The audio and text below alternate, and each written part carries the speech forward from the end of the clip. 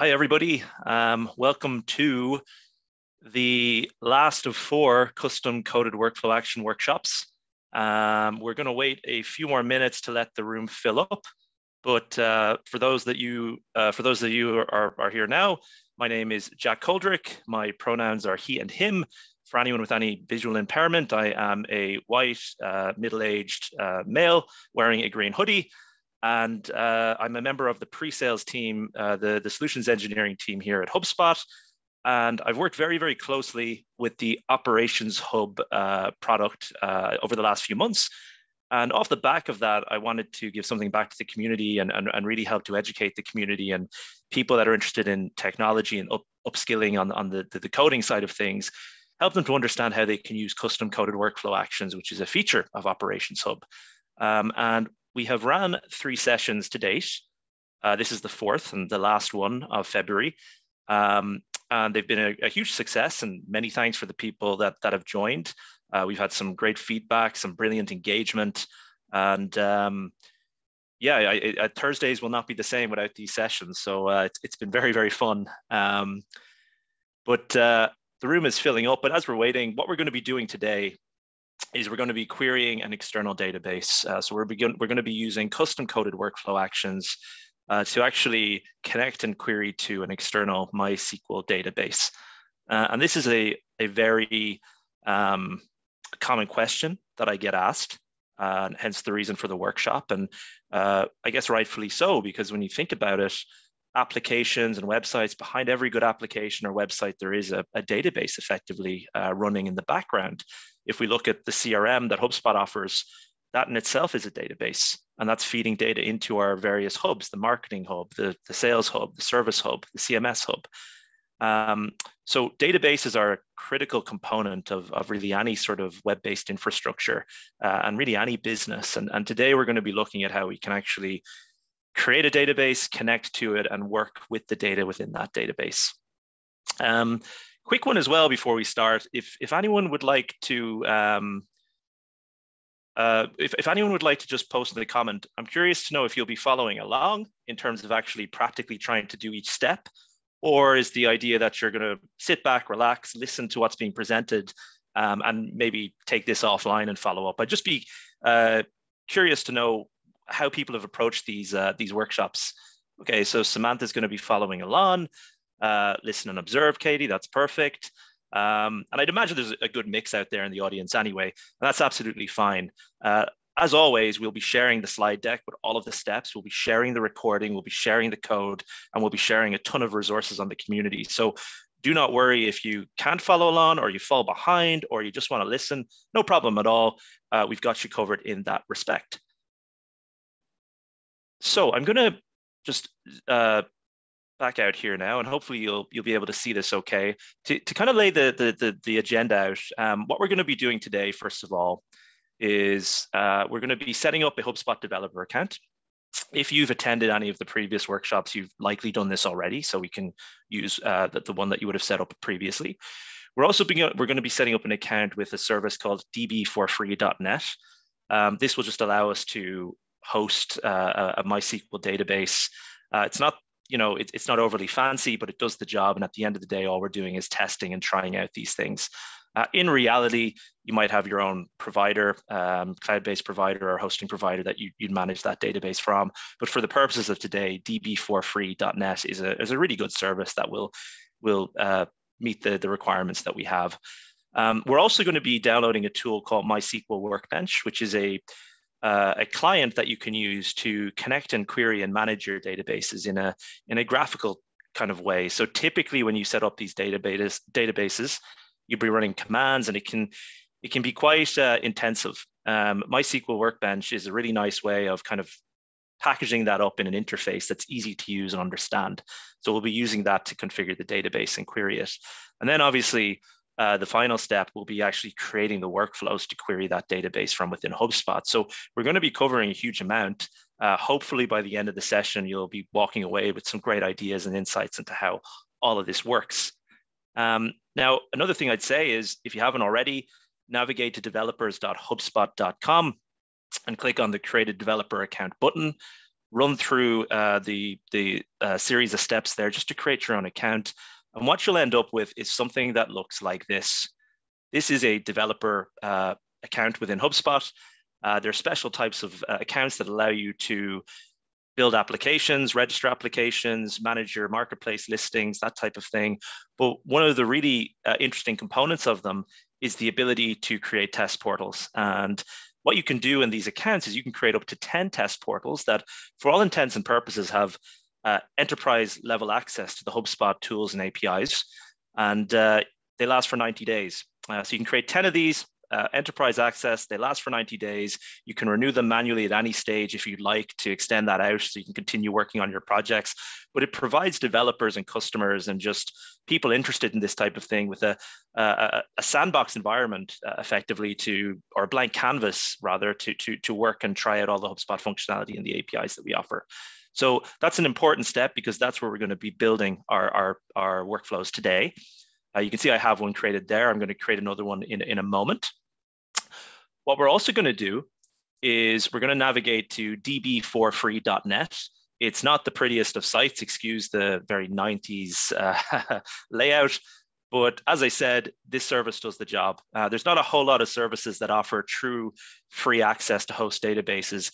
There is, of course, uh, AWS, which has a freemium model, um, but credit cards are required, and you know you can actually uh, go into that premium tier without realizing if you haven't set alerts and that type of thing. So I wanted to avoid all of that and make sure that we're just operating from a nice, simple, clean tool that does exactly what it says on the tin. Um, so if you navigate to db4free.net and sign up, um, that will give you uh, an account that we'll be using uh, a little bit later on. Uh, I'll be coming back to this, so don't worry. Um, what we're also going to be doing is we're going to be downloading MySQL Workbench. This is the tool that we'll be able to use to connect and, and query our database and, and configure our database accordingly. Again, it's a free tool. It's the official client for managing um, databases, MySQL databases.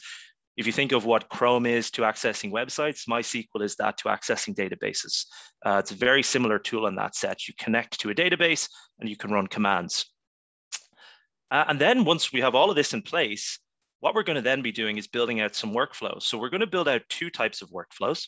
Example one is going to focus on connecting and querying the database. It is going to run anytime a contact is created. It's going to query that database to see if they exist. And if they do, if they don't exist, it will add them to that database. What it's also going to do is pass back some information to the workflow to tell us if they exist or not. And based on that, we can send them down different pathways. So the idea here is that if you know you're offering free trials or you maybe have things where people are signing up regularly and you want to check if they're customers or that type of thing, basically you'll be able to query a database and send them down the different pathway depending on the status that they have. Uh, we'll also be doing this with Python. So you can build custom coded actions with JavaScript in a node run runtime environment, or you can build them in Python. It's really just a matter of preference. Both will do exactly the same thing, but for consistency and full transparency, I wanted to include examples of both. And then the second uh, workflow that we're going to be building is an interesting one. And again, another feature of Operations Hub. It's actually a scheduled workflow. So the workflows before will execute when something happens, as and when contacts are created or if someone fills in a form.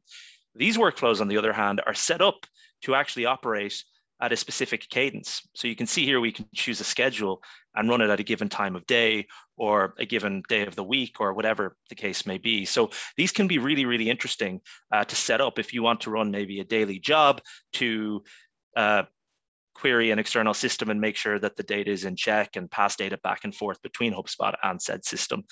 Uh, and again, we'll be doing that in both uh, Node and Python. And worth noting as well, all of the code sa uh, samples that you see today as we go through it, they're all accessible here. So I think my colleague Yana will be sharing this in the chat. But as we go through the tutorial today, all of the code that you actually need is accessible here and can be copied and pasted. And what I've done as well ahead of time is I've done my best to comment each line of that code to describe what it's doing. I appreciate there can be a lot of a lot to take in and a lot of learning involved, but um, I wanted to make it as easy as possible to digest. Uh, so with that all said and done, we will get started. So what I'm going to do is navigate to the developer website, create that developer account. I've done that already, so here we are. And I'm going to click on create app test account. And I'm just going to call mine workshop number four and create. And I can then immediately click into this account.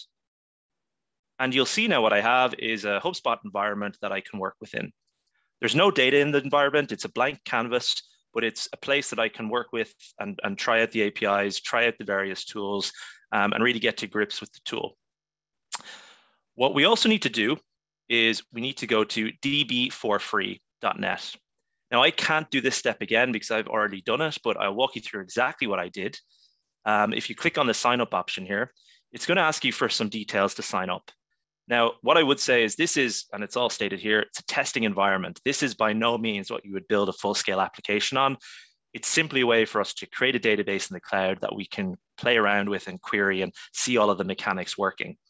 Um, now, what we will need to do is provide a name for our database.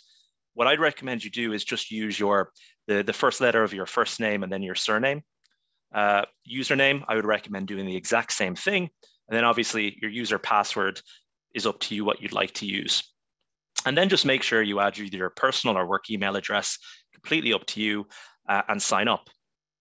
Now, what you'll get off the back of signing up to this is an email that looks something like this.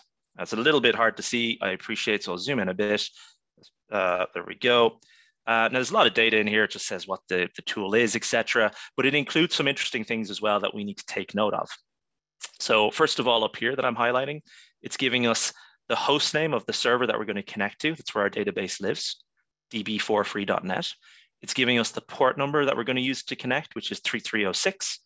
Uh, and it's also giving us a confirmation link that we have to click to confirm our account. So what I would say at this point is make note of this up here and click on that link. And that is really all there is to that step. The next thing we're going to do is we're going to download MySQL Workbench. So you can click on download now and you can choose your operating system. I'm on Mac. Um, some of you are probably on Windows out there. Um, and it's really just a question of downloading it. Now, it may take uh, a bit of time, so I'm going to pause for a second to let people go through this if they are following along. But when MySQL Workbench is downloaded, what we will be able to do, and I'll pull it into view here, is we will have something that looks like this that we can we can open up on our, our desktop um, and we're going to be using this to actually connect to the database that we just configured in db4free.net. Um, now, I will just say here, there's some really useful things about MySQL Workbench that are worth noting is that you can actually save connections. So you can see I have one already saved, ready to go. So if I double click, it will open up. And you can do this basically just by clicking on the plus icon. And you can configure your connection so that you don't have to continuously be, be import, inputting details if you want to connect and try something or check something. So that's one of the really uh, nice things about uh, MySQL Workbench. Not to mention, in a moment when we log in, it's got a ton of other functionality that we can utilize.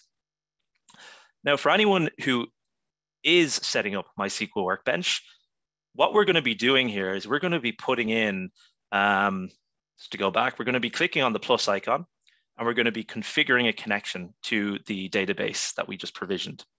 So you can call your database whatever you like.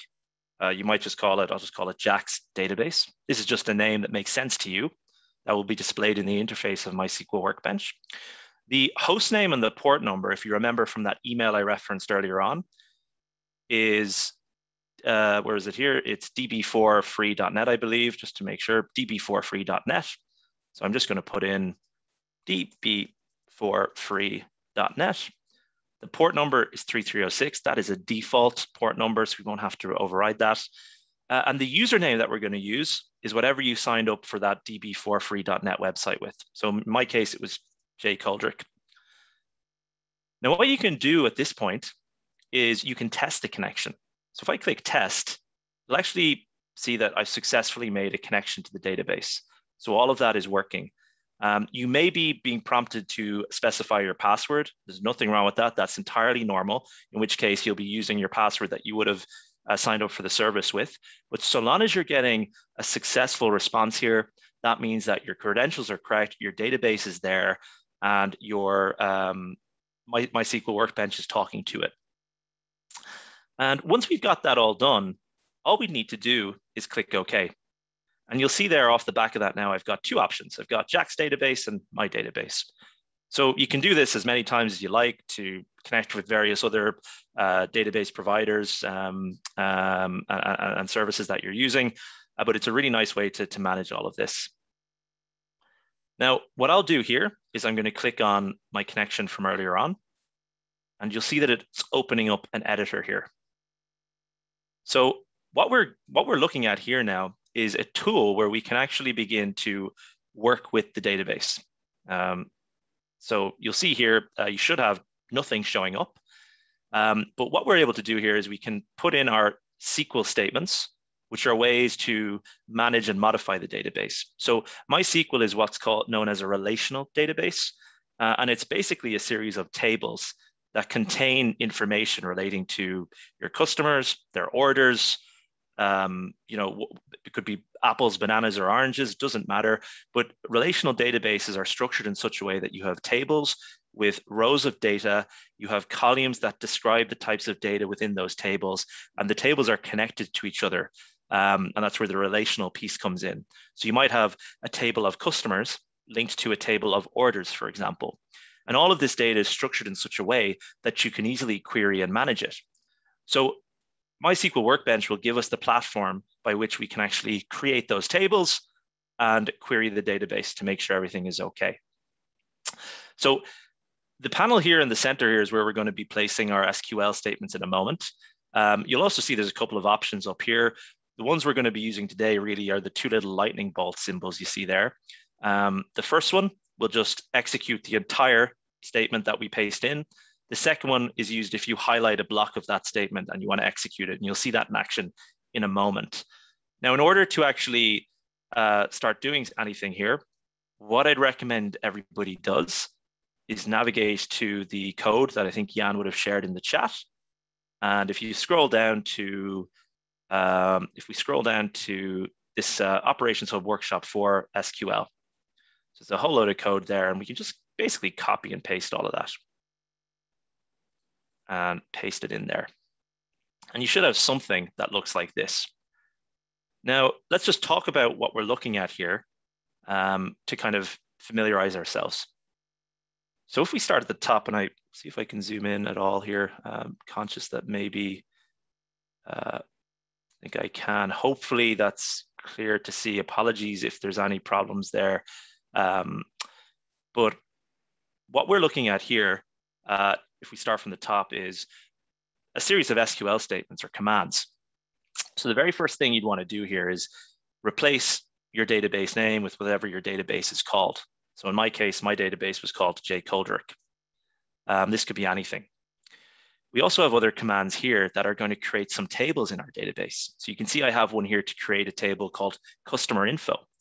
And within this table, I'll have a, a column that is the customer's ID. That's a unique key that's incremented each time something's added to the database. I'm also going to have their first name, which is a just a string of text, can be up to 205 characters long. I'll have their last name, again, 205 characters long, and I'll have their email address, 205 characters long. And every table you create in MySQL has to have a primary key, a unique identifier. Just like with HubSpot, the unique identifier of a contact is their, their contact ID or their email address.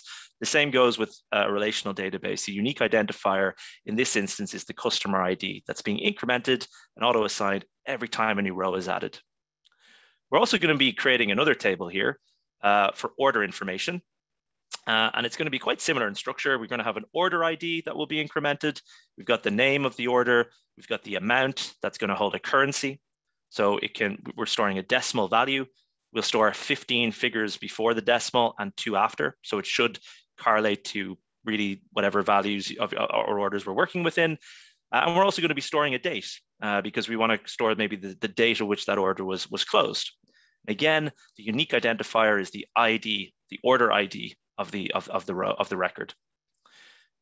There's also a couple of commands down here uh, that you'll see where we can actually select uh, information from the table. So you can see here I can select everything from the customer info database. And I'm just conscious that there's a line missing, so apologies, I'll, I'll add that up. But we can also add a line here to select and then add an asterisk, all from order info. So we've got two select statements, and these are used to actually query our database. What we're doing is we're selecting. The asterisk is basically saying everything from this table, and it will return the information in that table. You can get much more granular with SQL, and you can say, uh, let's pull everything where the email is equal to X, Y, or Z, or where the first name is Jack and their favorite color is blue, or whatever the case may be. Um, we're not going to be doing that today, but it is just worth noting that with my MySQL, you can actually do that if you'd like. So if you have all of this code here ready to go, what you should be able to do is just click on the lightning bolt, okay? Now, I've done this already, so yeah, you'll see that the table already exists, so I'm not able to, but you should see uh, something uh, being output here in this little panel. And if you've done that uh, successfully, that means that your tables have been created. And what you can actually do then is to make sure they've been created is you can come down here and you can highlight line 37 and click on the little other, uh, the, the, the Thunderbolt icon with the cursor. And what it should do is it should, you'll see here, it's just pulled up some results. Now it's very small, apologies. Uh, there's nothing I can do to zoom in there, but what we're looking at here basically is a grid of all of the records in the database, or the table rather. Now there's nothing there because we haven't done anything, but you can see the structure there. We've got a column for each piece of information we're storing. And if we do the same thing for order information, we highlight it and click on the little Thunderbolt icon with the cursor, we're getting the order table coming up. Again, nothing is there, but in, in a short time, there will be information there. And what we can do as well when we build out these workflows later on is we can revert back to our My, uh, MySQL workbench and we can actually run these commands and we should see data being added off the back of the workflows running.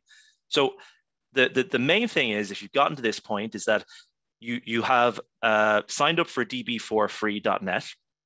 You got that email, you confirmed your account, you've downloaded MySQL Workbench, you've taken the code that I provided and you've pasted into the panel. Uh, you've also made sure, because I mistakenly forgot to add line 44 here, select all from order info. Um, and you've basically then run all of this and you've created your tables. And to make sure it's all working, if you highlight any of these select commands, you should be getting something that looks like this. So that, that's all, um, it means our structure, our database is ready to begin accepting data. So what I'm gonna do at this point then, so I'm gonna actually um, move this to the side and I'm gonna navigate back to my uh, account that I just set up. So let's actually create the workflows. Now, the first thing we'll want to do as well is uh, click on settings, navigate to contact properties, manage contact properties. And we're just going to create a property and you'll see why in a moment. We're going to create one called exists. So we'll just choose to save it in contact information. We're just going to call it exists. Click next. And the field type is a single checkbox. Now, the idea is this property is what's going to hold the value that's returned from the first workflow. So we're going to check to see if a contact is already in the database. And if they are, we're going to update exists to yes or true or, you know, or, or check the box effectively. Um, if not, it will not have a value and we'll know that this is the first time they've actually uh, uh, come through the, the, the, the, the journey.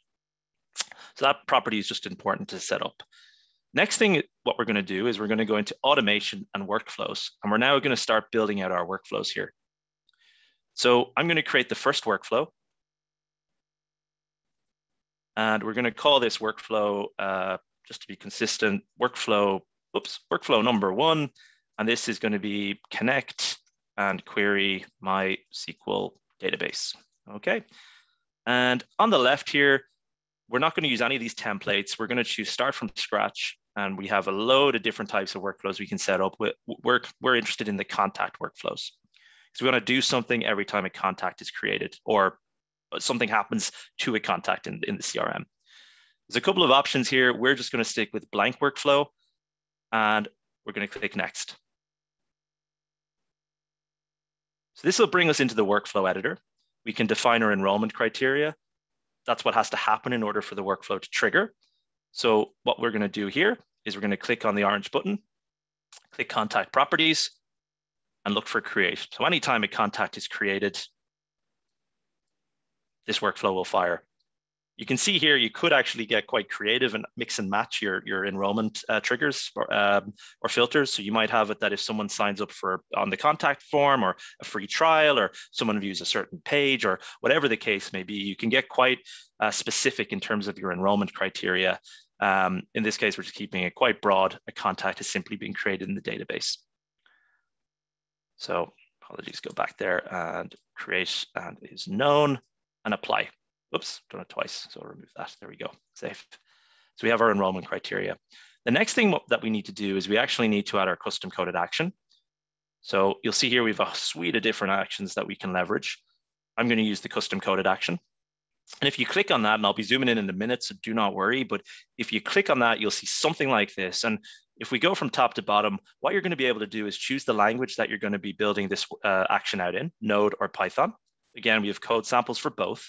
We're going to be adding some secrets in a moment. This is so that we can keep things um, private. So you don't necessarily see them within the code, but you can still reference the values. So this is really useful for passwords and usernames and, and the like. We've also got properties that we want to include in the code. So the, the, the information that we want to use within our code. So we want to take the person's email address, their first name and last name and query a database. So we're going to be adding that. We're going to be making sure we copy our code in. And then every custom coded action can give something back to the workflow. So if we scroll down here, you'll see there's data outputs. So we'll be specifying a data output so we can pass information back and update that exist property that we set earlier on. So if we start at the top, we're going to create a node workflow action. And actually, I can zoom in here, actually. Hopefully that's a little bit better. Uh, we're going to create a node workflow action, and we're going to create some secrets, okay? So let's click on the drop down and choose add secret. And the first secret we're going to create is my SQL underscore and its user, uh, just to make sure I get this right. Uh, I'm referencing my code. Um, so we're going up here. Yeah, these are the names here. So user and password. I just want to make sure I get them right so our code works. So my SQL user and the secret value in this case is whatever the user uh, name that you signed up for that service with or used to connect to your database is. In case for me, it's Jay Coldrick. And we save. We're going to create another uh, secret, and we're going to call this MySQL pass. Just make sure again, uh, password, apologies, MySQL password. And what we're going to do here is put in the password that we would have used to sign up for the database. So again, you're not going to usually share this with anyone. For the purposes of this, I uh, just used my name. It's not a, a big secret, so I used my name as the password. Um, of course, you'd likely have used something differently. Uh, what we're then going to do is we are going to create uh, some other variables for the, the host that we're connecting to. So MySQL host. And this is going to be db4free.net. Again, you'll probably notice this is this should be familiar. This is the, the information we would have input into my MySQL workbench. It's the exact same credentials. Uh, we're just placing them in HubSpot so that we can reference them and use them in our code. And then finally, we'll add one more, which is MySQL underscore DB. This is the name of the database we're going to connect to. So I call my database Jay Coldrick. So I've added my secrets and they're ready to be used in the code. The next thing I need to do is add my input variables. So I'm going to choose my properties. I'd like to use the contact's first name. I'd like to use the contact's last name and I'd like to use the contact's email address. So this is the information we're going to be passing into our custom coded workflow action so that we can leverage it and query the database. Next, what I'm going to do is I'm going to open this on full screen. It's a little bit easier to see. I'm going to make it, oops, apologies. I'm going to make it dark so I can actually see the contrast. I find that easier to, to read. Uh, and I'm going to navigate back to my code snippets and I'm going to look for example one JS. And I'm going to just take everything from line one right down to line number 63 and take that and I'm going to copy it in here so I can highlight everything, delete it, we don't need it, and we're pasting in the code from the uh, repository that was shared. So this is our code responsible for connecting and querying the database. I'll, I'll, run through this shortly as to what it's doing, but before we do that, one final thing, if we scroll down as well to data outputs, we're going to add an output the data type, we're going to set it to a Boolean, so a true or false value, and it's going to be result found. And you'll see here, this actually correlates to our code here on line 58, what we're, we're defining in our output fields. So we're basically telling the workflow what type of data this is so that we can pass it to the respective property. And to make sure I don't lose anything, I'm gonna save this uh, so nothing disappears on me. I'd encourage you to do the same. It'll probably close when I save it, I'll open it up again. Um, and let's take a look at what all of this is doing. So full screen, dark mode, and let's zoom in. Hopefully that is clear to see. So if we start from the top, what we have here is some JavaScript. And what we're doing here on line number six is we're importing uh, the MySQL node library, which is a way, which is a, a, a, special library that has a load of different pieces of functionality that uh, you can use in your code to connect and query uh, a MySQL workbench or MySQL database rather, apologies. it's worth noting that the same things we would have done in MySQL Workbench, we can do within our code here. So just like we were selecting data from the database tables to see what was there. Uh, we're going to be doing something similar here to check to see if records exist. So the MySQL library gives us the, the, the functionality we need in our code to do just that. On line number nine, what we actually have then is a function, and everything within this function is what's executed when we get to the custom coded action. Line 11 through to line 15, we're defining some variables. Variables just hold information. You can see here, line 12, we're holding the user's email, the input field. We're also holding the first name and the last name of the contact in the workflow. And I've also created some variables that I'll reference later on. Um, I've created at the top of my code just for um, efficiency. So from 17 down to 23 then, what we're doing is we're configuring our connection to the database. So we're using that MySQL library that we would have imported at the very, very top, and we're creating a connection. And you can see that connection needs a host name, a username, a password, and a database. So just like MySQL Workbench, where we had to put in our host name, our username, and our password, then use a specific database, the same is true for our code. So what we're actually doing in this instance is we're going to be referencing our secrets um, that we added just a moment ago. So they're not visible in the code, but the code certainly can reference those values. Then from line 25 onwards, we're actually going to query the database. So now that we've established a connection, and hopefully there's no errors, line 28 would throw an error if there was, all going to plan, we're now ready to query the database. So you'll see here what I'm doing is I'm running another um, uh, statement here, and I'm saying, let's get everything from the customer info table where the email address matches the contact enrolled in this workflow's email address. And then what I can do is I can say, right, well, if some data is returned, well, then we obviously know that there is a record there that came back. So the contact does exist, in which case I set results found true. Otherwise, we can assume there is no record for that individual. So what we're going to do is we're going to add one. So you can see here now we have a slightly different statement.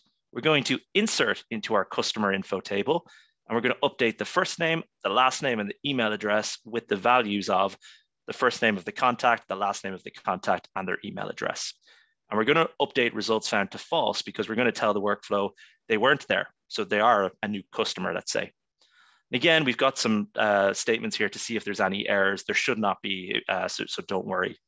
Then finally, we end the connection and then we pass back the results found to the, the output fields uh, JSON object to the workflow. So a lot there, but assuming all has gone to plan here, okay, what I'm going to do is if I scroll down here and test the action, and I choose one of these contacts, I'll just choose uh, Brian Halligan as an example and click test. All going to plan, we should hopefully get back, yep, it's actually worked, that's brilliant. We'll get back in uh, something that looks like this. You can see results found is false because he did not exist, and that's perfect. If I navigate back to MySQL Workbench, I'm gonna just make this a bit smaller for a moment. I'm gonna pull this into view. I'm back in MySQL Workbench. You'll see here, I know it's it is hard to see, so apologies. Um, but at the very least, if you can see, there's nothing here. If I refresh this table, you'll see now we actually have a record here for Brian. So he's been added to the database. And interestingly, if we take that out of the way again, if we try to enroll him again into this workflow, so let's let's test again. Let's see what happens you'll actually see this time results found is true. So we query the database and there was a result for Brian. In that case, we've passed back the information to the workflow to say he does exist. Uh, and I've added some console.log statements for debugging purposes, just a nice thing to do. So we can see this is information coming back from that database. So what we've done here is we've built a custom coded workflow action that connects and queries uh, a MySQL work, uh, uh, uh database. Uh, and we've done that with JavaScript. The finishing touches to this workflow, if we save it, is we need to then add our copy action. So we need to scroll down here and we want to say copy property value. And we want to copy from the result. So the custom code action, that result found, we want to copy it into the exists field. So it's either going to be true or false, checked or unchecked. And then what we could do if we'd like is we can add an if then branch. We can branch based on that logic. So we can basically say for contacts, we could say exists, and we'll look for exists. And if it exists, so if, if it does exist, they exist, great. Otherwise, uh, we'll scroll down and we'll say uh, does not exist and save. And what we actually have here now is a, a, check to say, well, if they exist, go down this way. If they don't exist, go down that way. And then we can obviously add more actions, could add another custom coded action potentially to do other types of things. So uh, that is the example using JavaScript. Um, the the uh, example using Python is very much the same. The only difference is the code that we're adding. So if you don't mind for one moment, I'm zooming out just so I can navigate easier. I'm going to clone my workflow. And I'm going to call it workflow number two. And I'm just going to say, this is the Python example and submit. So I'm just kind of taking a shortcut here. Um, so cutting corners, but useful to see how you can clone workflows and that type of thing. So in a moment, we should have another workflow here, structurally the exact same, nothing changes.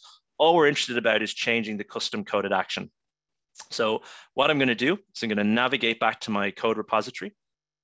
I'm going to take my Python code here,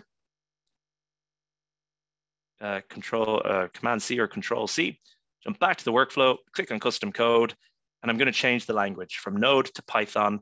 I've already got my secrets. I've got my input fields. I have my data output already because we've cloned it. And I'm just going to replace all of this with my code. And I'm going to set that to dark and make it full screen. And I'm going to zoom in and just very uh, quickly run through what's happening here. So just like the JavaScript code, we're importing libraries at the top. Um, Python, most languages will have uh, packages and libraries to interact with databases. They have a MySQL package, so we can use that to connect to the database. Line number nine is the function that's going to execute. We're doing what we're doing here is we're storing the input variables in properties. So the email, first name, and last name that we'll query the database with. We're then connecting to the database and we're getting those secrets again in a slightly different manner, albeit because it's a different programming language. There's different ways to do things, but we're configuring our, my, our connection to the database. And then the way you query MySQL databases with Python is that you define what's known as a cursor. And a cursor lets you uh, uh, execute uh, SQL commands, SQL commands. So you can see here on line 26, I'm selecting everything from the customer information table where the email address is equal to, and you'll see there's this kind of strange symbol here, percentage and an, an S.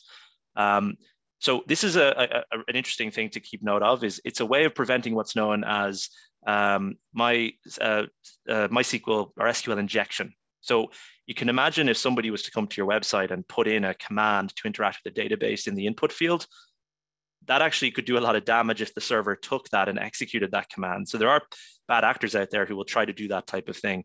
Python has a nice way whereby it will actually strip characters. So that doesn't happen. And this is the way you can do it. So what we're doing here basically is we're substituting what we see here with what's on line 27. So we're taking that user's email and we're putting in a, a, a formatted safe version into our statement. Then we're just simply executing our command. We're, see, we're getting all of the results. Uh, for debugging purposes, we make sure that we're, we're getting something back. And similar to the JavaScript, if we get back a result, well, we know that there's something there, so we set it to true. If we don't get back anything, we know that there isn't a record there, so we're going to add that record in and then we pass the data back to the workflow. And if we actually do this now, if I go down here and I say, let's pretend we're Maria Johnson this time and I test it, what we should hopefully see this time is uh, some, I'll go into plan, we should see, yep. You can see that she didn't exist, so we got false back. You can see the console said there's no results found. That's brilliant. So if we actually go to the workbench now, And if I refresh the rows, you can see another record's been added. And again, apologies for the very small text. It's there probably is a way to do it, and I just don't know. So apologies for that. But a new row has been added. And to verify that, if we go back here and we try to test again as Maria Johnson, what we should be getting back now is that she does exist. So you see that true this time, a result was found. And there's the information that's come back relating to Maria Johnson. So what we've done here is we've created two workflows, one using JavaScript, one using Python, both functionally doing the same thing, connecting to an external database, checking to see if a record exists. And if a record does not exist, it's adding a record to that, uh, to that uh, table. So if you've gotten that far, uh, massive congratulations because that that's that's a that's an impressive thing to do, especially if maybe you're new to coding or you've this is kind of a, a new territory that you're looking to expand your skills in. Um, that goes through a lot of mechanisms and functionality that can be very useful for various other uh, uh, projects you might be working on. And I appreciate as well, there's a lot to take in.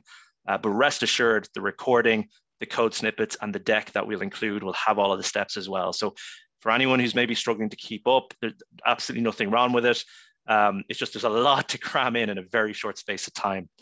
So that is our first workflow, our first example done. The next one we're going to create is a scheduled workflow.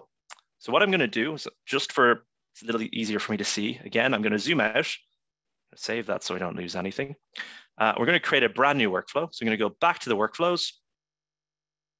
And from within here, I'm going to click Create Workflow. And from within here, I'm going to this time choose deal-based workflow because we want to do it for deals this time. And I'm going to choose schedule. So this is going to be a scheduled workflow. Now you can see we can run it at a specific cadence. I want to do this every day at a specific time, Eastern Seaboard time. So let's say six in the morning, this job is going to run. I'm going to call this workflow number three. And I'm going to say sync order data to database or something like that. Let's click next. Now, the way these work is that the deal meets the enrollment criteria. So if a deal meets the enrollment criteria, when this schedule comes around, the custom coded workflow action will be executed. So let's imagine I wanted to build an action that will sync uh, closed won deals to an external system, maybe it's an accounting system or database, um, so that have closed in the last 24 hours since the job last ran. What I could do is I could say, let's enroll deals that have a close date that is less than a day ago. So they've closed in the last 24 hours. That's our enrollment criteria. It's scheduled to run at 6 a.m. Eastern Seaboard time. And let's add a custom coded action to, to do something at that time. So just like before, what we're going to do is we're going to do Node and Python. First, we're going to do Node. We're going to add in our secrets. They should be ready and saved there. So we won't have to go through all that again. We can simply add them. We can add our input fields. So for this, what I'd recommend we do is we use uh, the name of the deal. We use the amount of the deal. And let's just say we want to sync the close date of the deal. Again, you can do as many as you like. Whatever data you want to get out, you can do that. We add whatever input fields we, we like. We don't need to specify any data outputs because we're not doing anything off the back of this. It's all going to happen in our coded action. What I'm going to do next is I'm going to navigate over to my code. I'm going to scroll down to example two, JavaScript, and I'm going to take everything we see here. Now, this is, uh, I have to say, um, when I started doing these workshops, I only really started getting much more into Python. I never, I usually was more into the JavaScript side of things. For this workshop, for this specific example, it was much easier and more intuitive to do with Python. So I really saw the value of that. Um, I don't know if anyone feels the same out there, but I found it much more, much easier to do with Python. And you'll see why in a moment. Uh, but if we go back to the workflow, I'm going to go full screen. I'm going to make that dark again. I'm going to take away everything and paste it in. So you can see a whole load of code and I'm going to save it so I don't forget. And I'm going to zoom in. So let's, oops, apologies. Uh, let's just take a look and see what's happening here. So we're tight on time. I want to get this wrapped up in the next five minutes so we can take questions. But uh, so I might fly through this a little bit quicker. So apologies. But what the code's doing here, again, we're importing our libraries. We're going to connect. We have our function that's going to execute the code when this workflow action is reached. We're storing some information in variables. Uh, and this is interesting. And this is uh, so because if you remember our order information table, we're holding some date information. So the database is expecting a date in a specific format.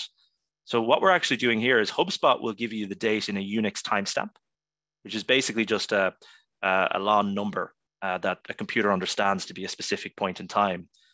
What we need to do is we need to convert that to a, a format that the database will accept.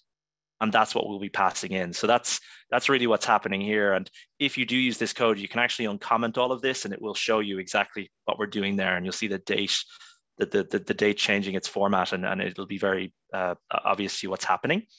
Uh, and then what we're doing is we're basically creating our, our date that we're going to pass in. So we're going to pass it in in this fashion, year, month, date, then the hour, the minute, and the second.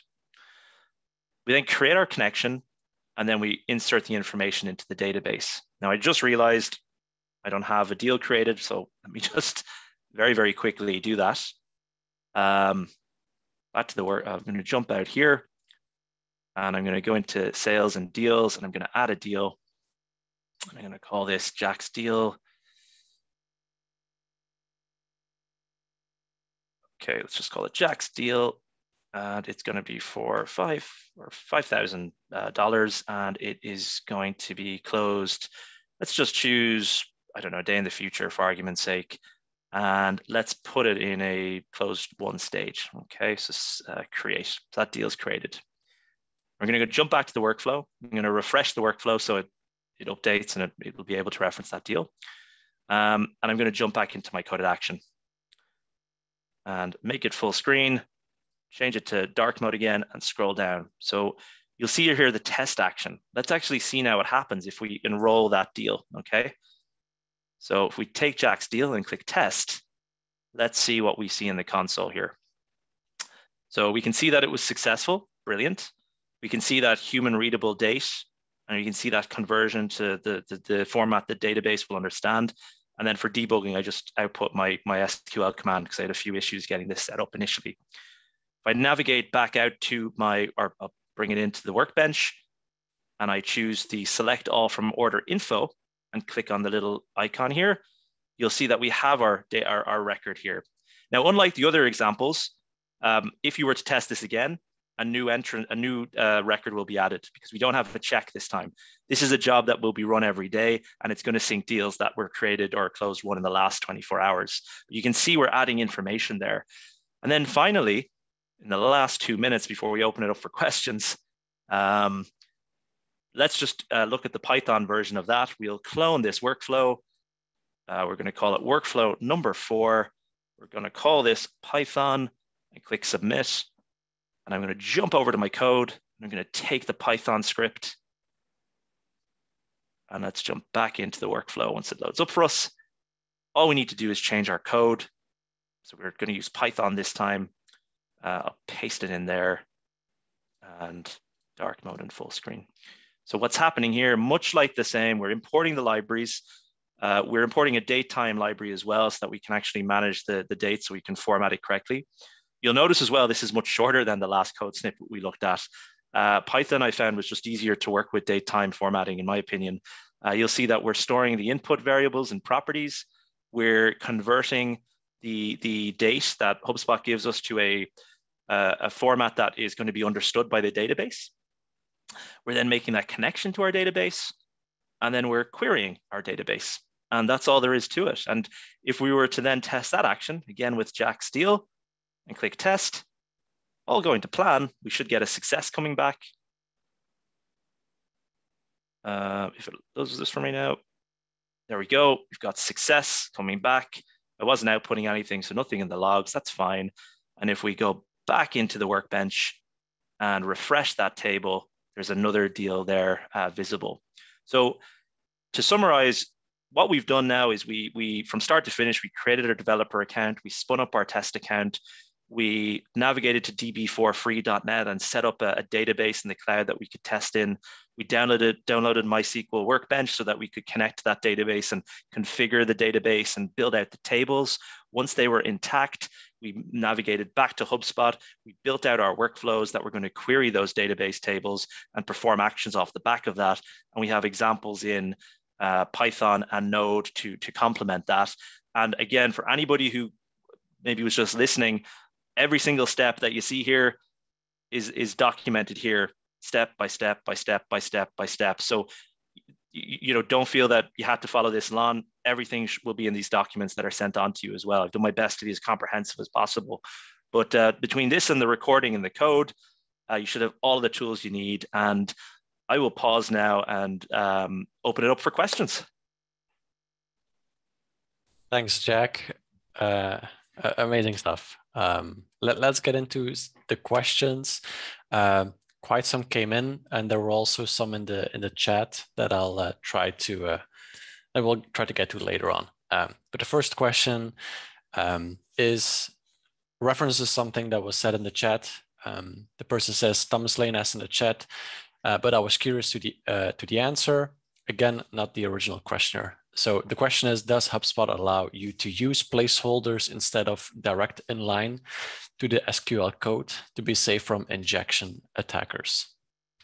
Uh, so to the best of my knowledge, we we do.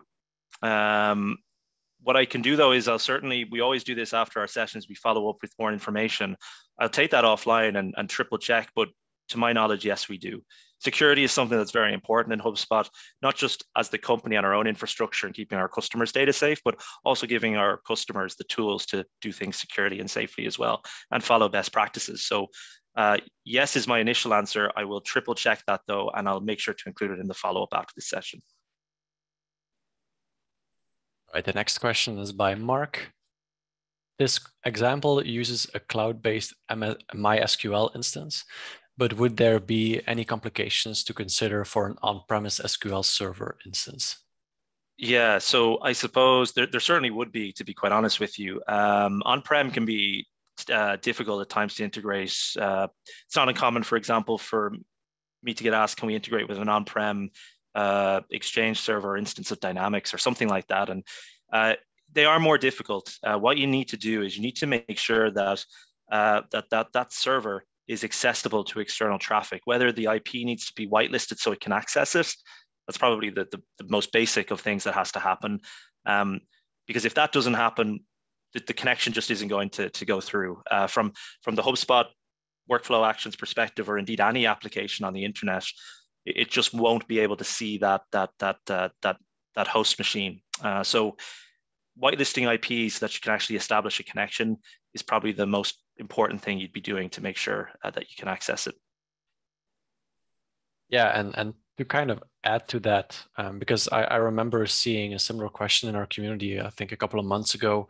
Um, because I think, and, and you can probably correct me, uh, Jack, but because HubSpot uses AWS servers, there isn't like a fixed IP. So there need so if you were to whitelist uh, an IP, it would need to be an IP range, which yeah might have make make it a bit more difficult um, that, to set that up. That's a good point as well. Yeah. Um, so you so we certainly we would use dynamic ranges of IPs that are likely to change over time. So that that can create some added complexity. Again, it's not impossible, but certainly is not as easy as if it was a cloud-based system that we're connecting to. Right. The next question is by, by Eric. Uh, when copying the SQL result in the workflow to a property, will a true false copy over to yes, no? Uh, so actually, it, it, it, won't. It will actually just convert. Well, if it was a drop down in enumeration field, yes, it would. True is yes, false is no. We used a single uh, line, a single checkbox. So checked is true, unchecked is false. All right. Uh, one other question here: um, Is HubSpot ever going to allow um, C hash as a language? I'm not sure if it's called uh, C, C, C, sharp. I think C sharp. Uh, yeah. It's truthfully, I don't know. Um, we recently opened up support for Python. Uh, I know the plan is to expand on this and make it more accessible for everybody so you can use the language of choice. Let me check that. Uh, something I can take offline, speak to the team about, and I'll make sure to follow up uh, um, on the community post with the resources. As I just truthfully don't know, but I'd like to think that we would be. right, one question by Kimberly. And do you have to upgrade to Operations Hub Pro in order to use custom code in workflows? So for custom code, yes, Operations Hub Pro would be a, a, a requirement. uh, for this workshop, you're free to set up a test account. There's no charges there, and it's easy and free to do. But if you're wanting to do this in your actual HubSpot account, you realistically need to be looking at shifting over to Operations Hub Pro. That'll give you access to the custom coded automation, along with data formatting actions to keep your data clean and tidy, um, and the scheduled workflows uh, as well that we looked at. So there's there's a lot in there, but it would require Operations Hub Professional at the very least. Okay, one question by Lewis. Um, Ruby on Rails uses active record to to query SQL with simple commands. You don't, you don't have to write raw SQL. Is there something in Node.js you can use to not use write the raw uh, SQL for querying the database? There, there most certainly is. Uh, for the purposes of this, I guess I just wanted to keep it. So it was a fine line between uh, efficiency, but also making it understandable as to what's happening. Um, so there are ways to do it but I chose to actually use the actual SQL statements purely because I, I was conscious there's people on this call that maybe had never been, had never seen a database before, or didn't know what SQL was. So uh, I just figured it would be a bit more descriptive as to what was happening. There's a couple of questions by, by Thomas. Um, the first question is when I attempted to go through the first workshop, Clearbit, I did, they didn't give me the options needed that were displayed in the video. Instead, I only got the two basic options and none of the API functions. Is there a way to get those? Um, there most certainly should be. Um, let me, if it's okay, I, I will follow up. I promise you I will after this call to make sure that uh, you, you do have the appropriate level of access. Uh, it should be a question that you can sign up for a free account with Clearbit and it would give you some level of access to their APIs. It is likely that their interface has changed since we last recorded the video, which is something outside of my control, but let me, I, I just haven't checked. So let me check that, confirm it, and I'll be sure to follow it up in the resource post as well. Okay, uh, the second question, uh, what type was used to create the Boolean property on HubSpot's end? It was a single checkbox. All right, and then the third question, how can you force a, uh, force a cache reset on HubSpot to get set property to show up in the workflows. And if I recall correctly, um, Thomas had some issues, I think, uh, populating some of his custom properties. The, so there isn't a way to actually reset the cache except for actually refreshing the screen. Um, to be honest with you, if you're noticing any inconsistencies in the interface of the UI, the the best thing to do is simply just do a, a refresh of the page. That should fix 99.9% of the problems. At least from my experience, I haven't seen anything uh, that would go against that. Okay, I think this is the last question in the Q&A, but of course, uh, if, if people have any other questions, you can put them in uh, now. And the last question is, um, will this work well with cPanel, PHP, uh, PHP, My Admin? It actually will. In fact, that would be the preferred option. Um, cPanel is a nice interface for managing your, your servers and doing various things like creating MySQL databases and various other things. So absolutely, uh, the if you're happy to set a database up through cPanel, the, the custom coded actions we use today will work just the same. Uh, the, again, the reason I went down this route was because I was conscious that people might not have websites or servers there to work with, and they might not feel comfortable. They might need to work with their IT team on that one. And I just wanted to get a service that was free and easy and quick to use. So certainly cPanel would be the way to go, but uh, it was just a, a choice that I had to make at the end of the day for this session. Right. There was one last question that quickly came in. Um, are we locked into MySQL or does uh, PostgreSQL, and again, I'm not sure how to pronounce it, uh, work also for uh, transactions? So PostgreSQL, to my knowledge, no. Um, unless you've got some, uh, unless you can make rest, uh, requests to an external API that would actually translate those queries from HubSpot and query that database. Because right now, uh, and to my knowledge, again, I've, a lot of follow-ups for me this week, but um, I don't think there's a pre a, library that we have that supports it at the moment. It could be wrong. Um, I know as well if you prefer, there is also no uh, SQL databases like Mongo, for example, that you could use. We we do support using uh, Mongoose uh, to connect to that. Um, but yeah, looking at the libraries here, to my knowledge, Postgre uh, you, will probably struggle with for now. So, uh, but that's worth that's that's good feedback to pass back to the team nonetheless. Right, and I'm afraid we I won't have any time to scroll through the chat and, and see if there's any uh, questions that I missed. Um, but yeah, I'll uh, I'll hand it over to to Jack to uh, close us off. Um, yeah, well, really, to be honest with you, I just wanted to say a massive thank you for everyone who has joined today, and indeed for anyone who's joined the other sessions that we did. It's been a really intense month. Uh, we did a workshop a week. It's been really fun. It's it's definitely pushed me outside of my comfort zone. It's been a pleasure to come here and present to you all. Uh, I hope that you found them useful.